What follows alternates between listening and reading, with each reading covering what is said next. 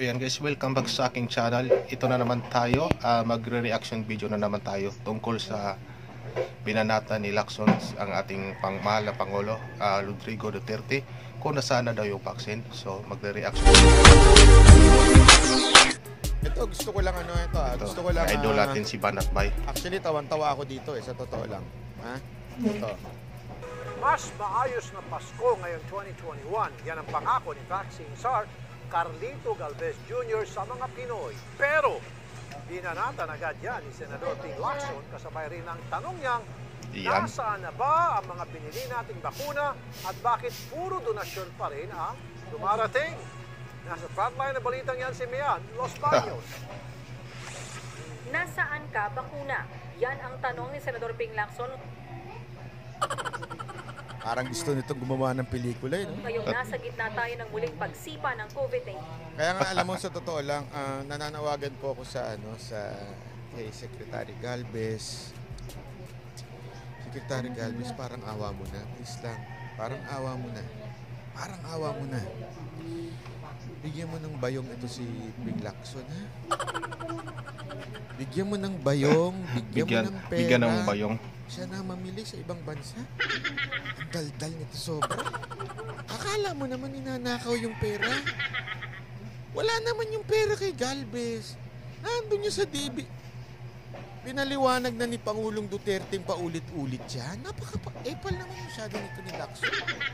Yun. oh. Ulit-ulit ng sinabi Tama yan. naman. Ha?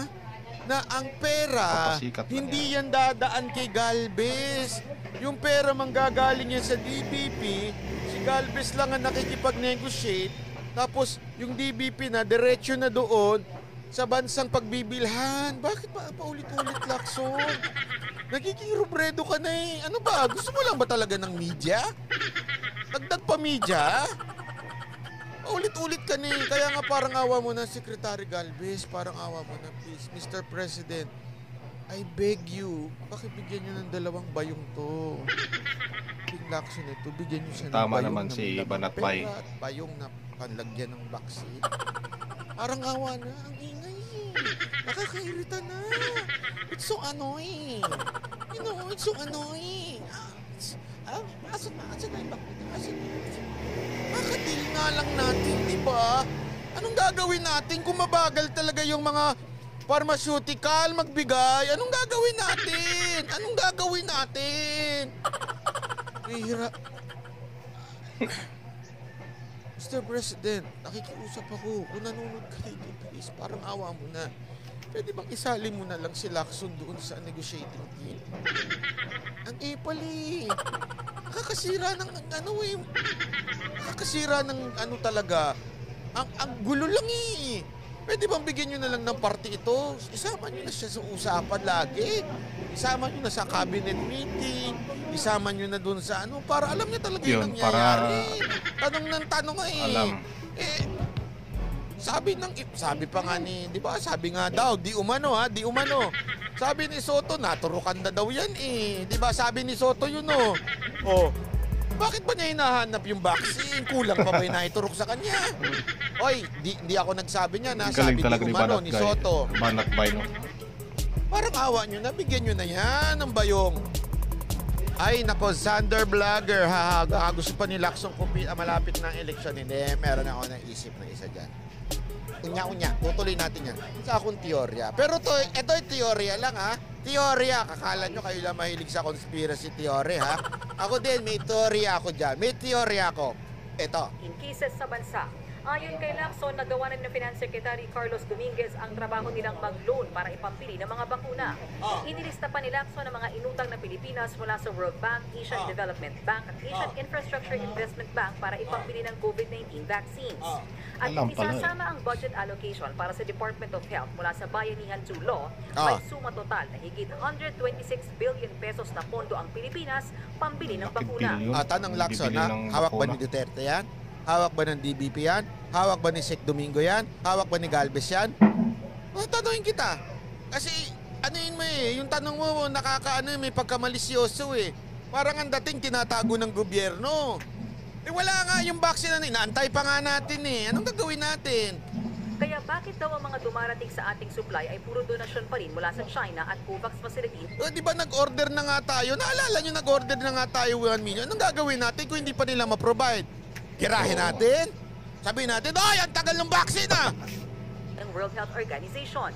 wala tayong problema sa pera kasi maluwag yung ah, yung mga lending institutions, World Bank, ADB, AIIB. Pero meron ako isang teorya kung bakit niya laging hinahanap yung vaccine. Maya-maya sasabihin ko sa inyo. Ha? Teorya lang ito. Ibig sabihin, baka hindi totoo. Ito yung opinion ko lamang ha. Maluwag sila na magpangutang sa atin. So walang pinoproblema sa pambayad. Eh bakit Oo. naka-procure yung ibang bansa? Maski Zimbabwe nakapag-procure na nauna sa atin. Eh lahat naman EUA talaga eh. Ah, Bakit tayo napag-iwanan? ah, Anong dahilan talaga? ah. Agad namang sumigundo ang Senadora Risa Ontiveros. Wow, akala mo naman credible si Rizzo Ontiveros sa pagsigunda mo. Pambira. Nang alam na naman. Talaga sisigunda yan. Pero hindi yan, hindi yan ang tawag na dagdag. Hindi yan dagdag. Hindi yan dagdag sa idea mo, Senator Lacson. Ha? Pampagulo lang yan si Ontiveros. Bukod sa nasaan ang bakuna, Hindi, ito virus nasaan din daw ang 690 billion Grabe pesos talaga na yung inutang natin para sa total COVID-19 response. Politika sa atin. hindi raw ito nagamit kaya humihiling siya Hindi nagamit yung 690 billion. Ah, ah. Do you even have an idea how much ang binabayaran ng gobyerno sa OFW pa lang? Ay nako.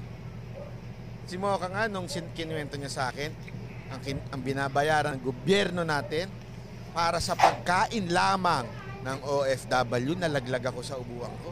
Per day ito ha, per day. Ayoko na lang sabihin, dahil wala akong kalayaan sabihin. Mga perde. Pero nung, nung sabi ko, bakit ganyan kalaki? And until when are you going to do this? An hanggang sabi ni Presidente, ba't tayo magagawa? Ganun katindi. O, di ba, meron nagpatotoo pa diyan kanina, nasa Manila Hotel siya. Ano, ano ba kala nyo? Libre ng Manila Hotel yon sa gobyerno natin. Eh, mabait kami, bigay namin yung Manila Hotel sa inyo. Ganon? Ha? At uh, baka akala ninyo, kunwari galing sa UAE yung mga OFW, sama-sama sila, apat sila doon sa loob, sa loob ng room, ha? Kaya nga quarantine, tigi isa yung mga yan. Ha? Diyan pa lang, diyan pa lang ha. OFW pa lang yung pinag-uusapan natin. Wala pa diyan yung mga libreng testing, wala pa diyan yung mga napakaraming ah, ginawang quarantine. Wala pa yung mga yan. Oh. OFW pa lang, alam nyo, grabe yung gastos. I- oh. Clue, hindi lang isang milyon kada araw. Pagkain pa lang to ha. Grabe laki pa lang gastos. Ganong kalupit. Pagkain yan, kalupit guys. ang binabayaran ng gobyerno. Sasabihin mo na wala yung pera, ano to? Wait na bulo. Bakit ba kasi hindi na lang sila pagawakin nyo ng pera? Ay, baka mabula. Baka, baka lang. Bakit ito suggestion ko? Huwag yung ganun suggestion. Makakagulo yan.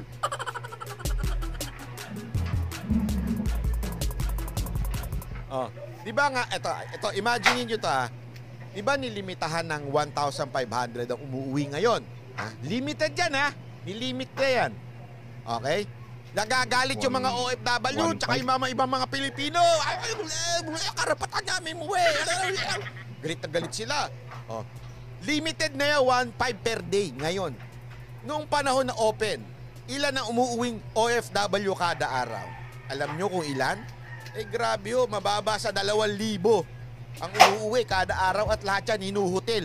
kilos ng gobyerno sa pagbili ng bakuna, tingin na Lacson ay Grabe. dapat lang naluwagan na ang Alam nyo kasi ganito eh, sa totoo lang nakakainis kasi kaya nakaka... Daldal mo kasi banat ba eh. procurement regulations sa mga pribadong kumpanya para direkta na silang makabili ng bakuna sa mga pharmaceutical companies. The private sector is more efficient than the public sector lalo sa pagdating sa procurement at pagdating sa efficiency sa pag uh, mismong pag-implement. We should not treat the private sector as competitor. Dapat ang treatment natin sa private sector is a partner. Yun na, lumabas na ngayon. Ah. Sino ang nakapag-isip na ng iniisip ko? Ah. Ano ang pinupush ni Lacson ngayon? Private sector. Ano? Ah, sige nga oh, kung, ah, kung may naisip kayo, tingnan ko nga kung pareho tayo ng naisip. Ano na yung pinupush ngayon dahil ang bagal daw ng gobyerno? Private sector. Palakpakan! Wow. Private sector. Ano ibig sabihin wow. ng private sector? Walang kowa. Ako lang kuha. Wala ako sinasabi, Senator Lacson ha. Oh, basta ganito lang yan. Ano ang problema sa private sector? Ah, Diyan, walang tinatawag na korupsyon. Bakit? Walang dadaan sa gobyerno. Sa kuras... So, sa madaling salita ho, pag private, oh, wala akong sinasabi ha. Baka sinasabi nyo, involved si Lacson. Basta ganito, gusto niya duma ah, pwede nang kumuha o mag-purchase ang private sector. Diyan na magkakayarian. Bakit? Parang DPWH Yun, lang yan. Private sector, kukuha ng ah, vaccine sa gobyerno rin gobyerno pa rin dadaan eh. Okay? Pero yung private sector na. Ngayon, sino yung mga maa-aproba na private sector? Oh. Alam na this. Yung mga maa-aproba na private sector, Alam na this. Siyempre, negosyo sa kanila yon pera yon. Ah. Meron silang kikita dyan. Ah. Eto ah, paano ko nalaman? Ganire. Meron lumapit sa akin.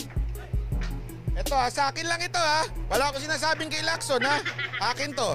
Meron lumapit sa akin, sabi sa akin. Oh, Enat bay, oh, bakit? Malakas ka naman kay Duterte. Hindi ako malakas kay Duterte. Anong kanalaman ko, di ka kami nag-uusap nun. Ha? Malakas kayo mong kay Duterte. Bakit? Baka naman pwedeng kaming mga private kumuha na ng, ano, ng, ng vaccine. Kaya doon na kami mag-distribute ng, maging distributor na kami. O, eh, di kausapin nyo. Wala kaming kakilala eh. Kausapin nyo. Ba't di kayo kumausap? Bakit ako? Malakas ka kay Duterte. O, ngayon, ikaw ang kumausap. Kami nang bahala sa'yo. Boom! May ganon! Patay. Kaya pala. Siya nila daw bahala sa akin? Pakailam ko sa inyo? Ha? Tama talaga Oh. eh. Yung nakikita pala ng Pero private walang sector. korupsyon doon ha. Sa totoo lang, wala namang korupsyon doon eh. Sa gagawin sakaling tinulungan ko sila lumapit. Walang korupsyon doon. Bakit? Di naman ako public official ha. Oh. Pangalawa, nilapit ko lang naman sila. Di naman ako tumanggap ng pera. Hindi naman ako nakakontrata. Inabutan lang nga nila ako. Oh. Hindi korupsyon yun. Oh. Di ba? Sa totoo lang? Kaya lang, Hindi corruption. mataas. Ang presyo. Oh. Siyempre, isipin mo na lang ito ha. O kunwari, may mga private company na nakakuha na. Ito ha, nakakuha na sila ng vaccine nila at nagsimula silang magbenta. O, pu- pustahan tayo, pataasan niya kasi siyempre, wala, bibili na lahat ng tao dyan eh. Siyempre. O, ha? Namo. Yung mga kumpanya, Namuunan. bibili ngayon dito sa mga mga nag-invest na mga private. Oh, bibili kami ng 3,000. Oh, magkano 'yan? Oh, papatungan na nila ng malaki kasi alam nilang atat yung mga tao. Oh. O sino nag-repair sa kanya? Liwanag guys, kaya pala reklamo na reklamo si Senator uh, Ping Lacson dahil gusto niya ini-endorse yung private. Hindi naman pwede at pasalamat tayo sa gobyerno na hindi pinagbibigyan yung mga private sector sa, sa vaccine na yan. Okay, thank you and uh, maraming salamat. Sana kapagbigay ka ng konting kalamansi tungkol sa nangyayari sa Pilipinas. This is Pambansang Kalbo, mabuhay po kayo.